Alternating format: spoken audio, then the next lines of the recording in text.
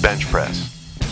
So grab the bar about a little wider than shoulder width apart and wrap your thumbs around the bar. Now one thing I want you to focus on is keeping your feet on the ground. Push your feet to the ground and that really helps with stability and power, believe it or not.